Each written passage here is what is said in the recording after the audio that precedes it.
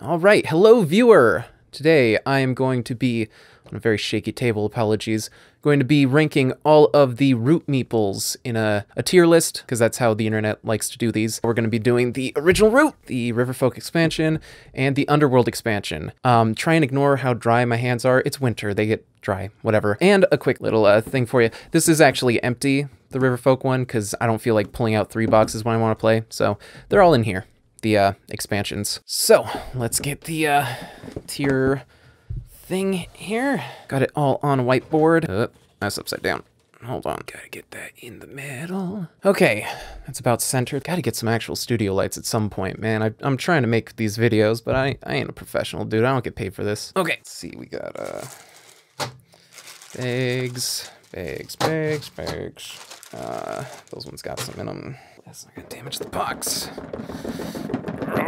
One thing I really enjoy about Root is just how uh, tight the packaging is. Like there's no no like air left in here. It's it's completely packed with stuff which is pretty neat. The other hand, though, makes it kind of a pain because, uh, especially with the new ones, it's a really tight box. Like, I can barely get my fingers into it. So, let me just get get a delegate from each of these each of these factions. Gotta get these boys out. Who do we got right here? Is that all the vagabonds? There's so many tiles in this bag.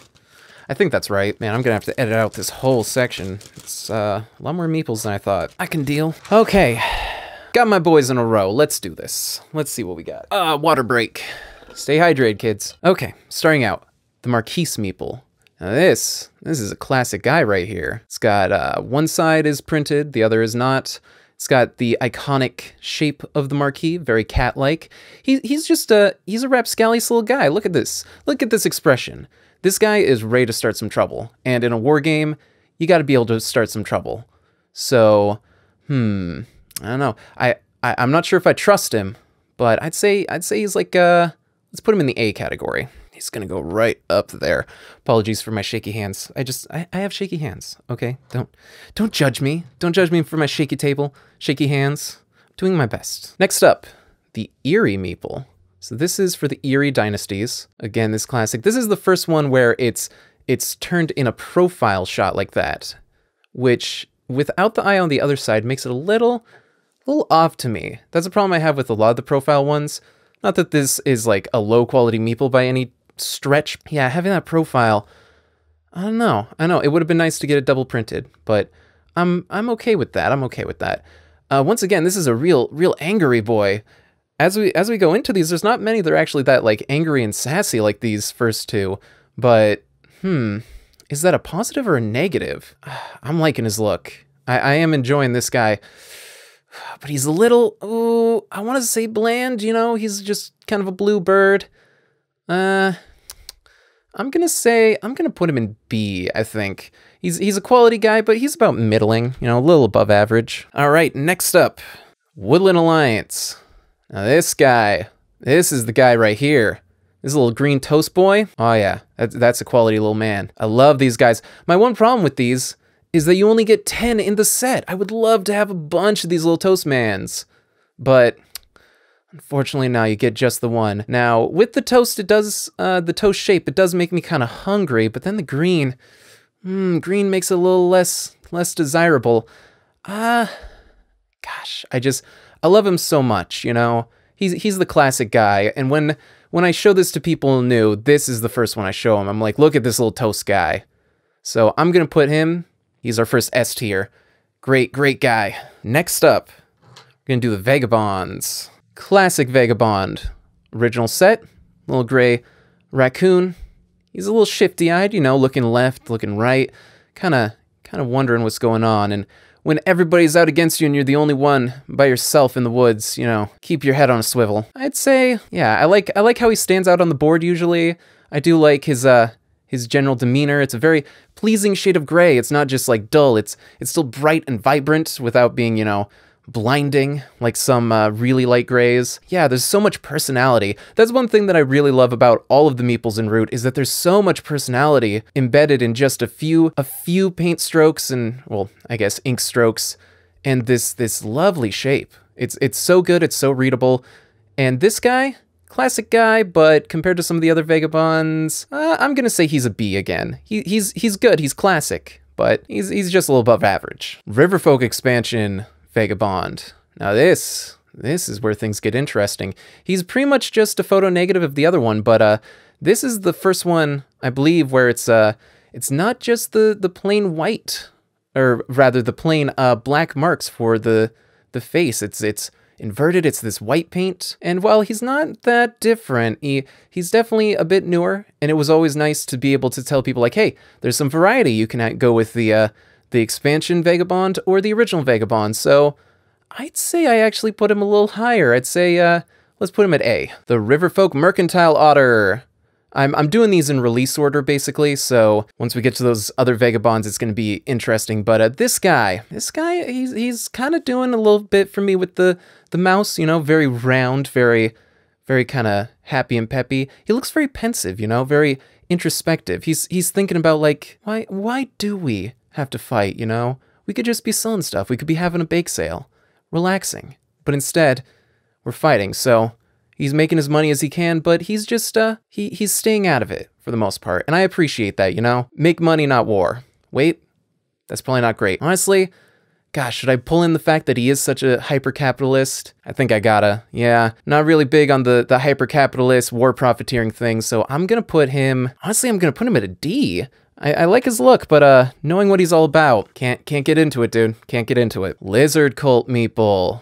Now this guy, well, this guy right here, I, I really, really love the lizard folk. And just, just look at this little smirk. Look at this little smirk on his face. He knows what he's up to.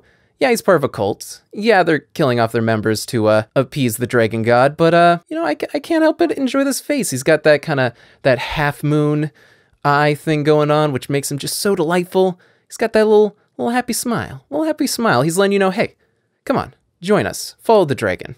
It'll be good. It'll be it'll be good. We swear. It'll be good. So uh, I'm gonna put him under. Oh gosh. I mean, I like his look a lot, but I think uh, with the cult, that's not that's not so good, dude. They're killing people off. It's pretty dark. I'm gonna say C. C for cult. Next up, we've got all of the custom Vagabond meeples. Hmm. I'm actually gonna have to hold on.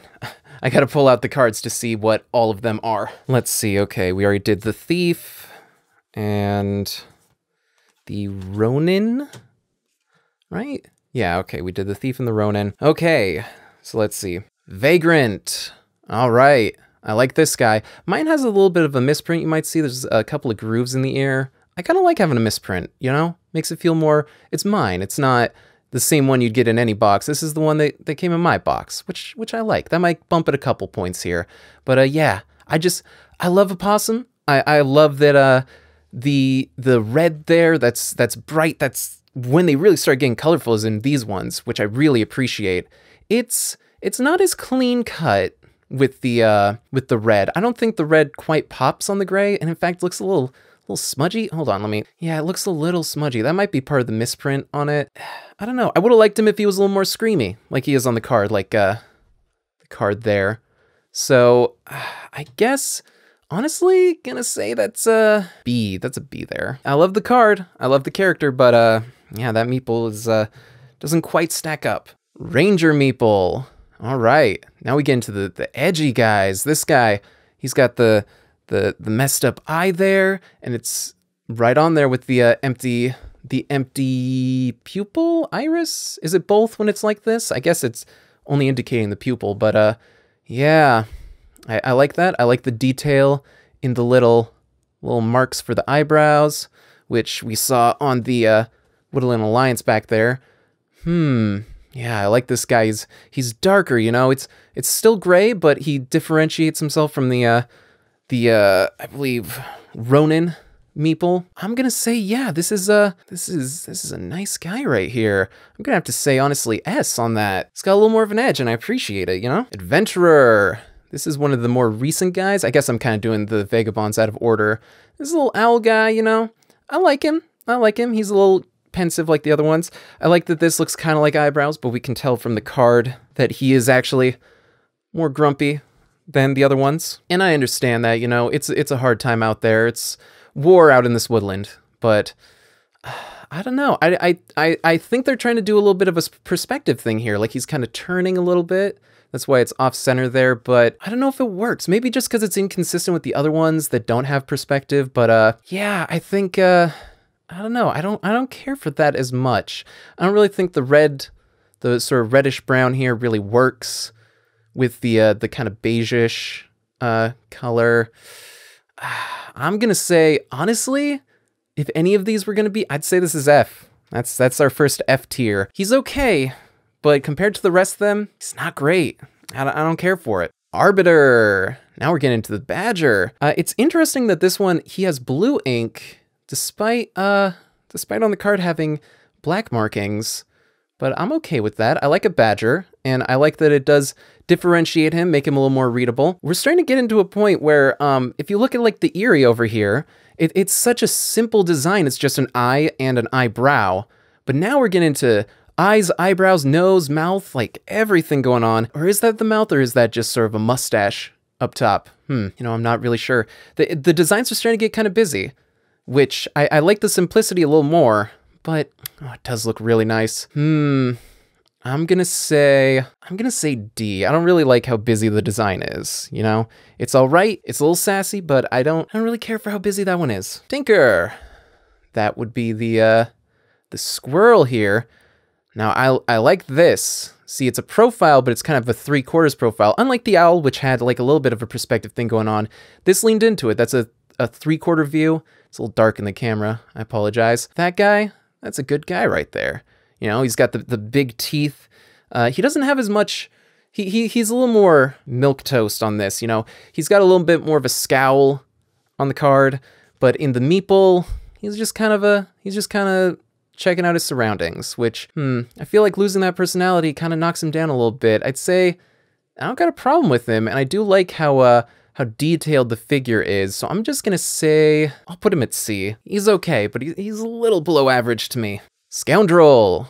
Okay, now we're getting into something. Now this guy, this orange face here and everything, I like that he uses the negative space to uh, draw out the face. I guess that's supposed to just be kind of a shading thing in the ears there with the uh, the double lines. Come on now, come on. I know you can focus.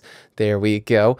Okay, he's he's a little dark for the camera here, but that's that's because he was originally a Halloween guy, and I I love Halloween so much that I think I gotta put him pretty high up. Is he an A or is he an S? Honestly, it feels like going back to basics while still keeping some of the busier stuff, and I really like the origin of his character. I'm gonna say that's an S. I, I really like that one. S tier, okay. And now the last one here. The Harrier. Blue on uh, black? Is this black? No, this is more, this is a dark brown. But uh, yeah, it's a it's a blue on a dark brown, which is a very, very odd combination. Kind of makes me think of, uh, they had the, the winter Lucky Charms that were like hot cocoa with like blue.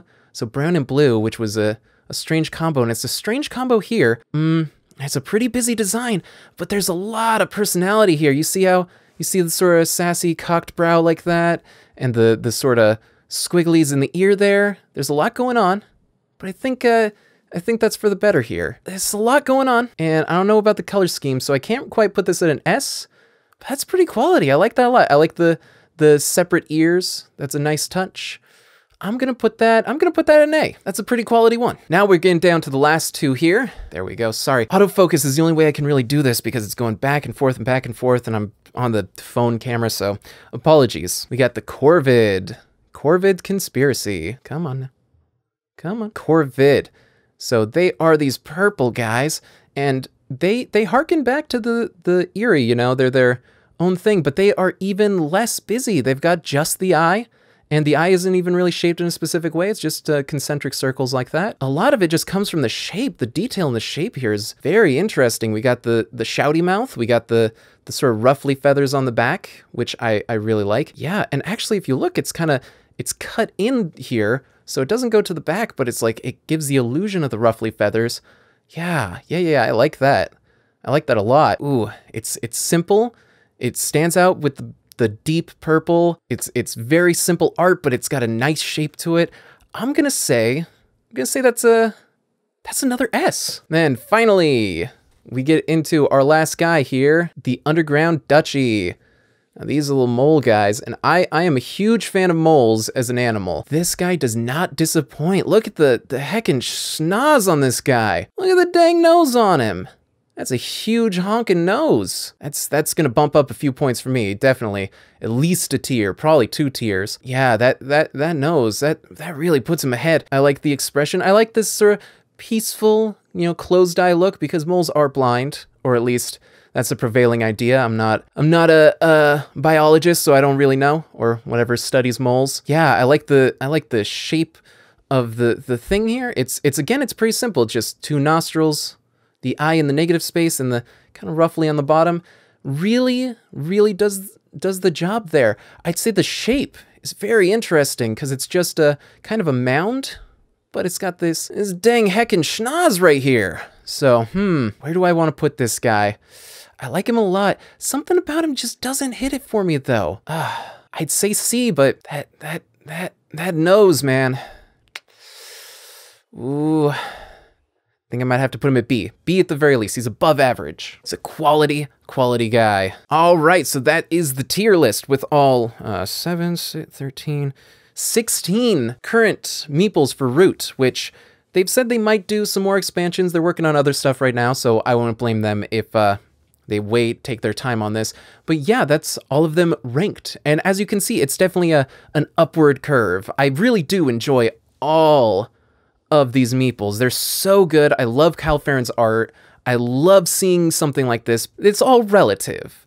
I would say that as far as board game components go, this is like above and beyond. These are still high quality, but they do have to be relative. So that's the, my least favorite of this bunch, but I still love them all. They're all, all my, my beautiful, beautiful children. That's my ranking.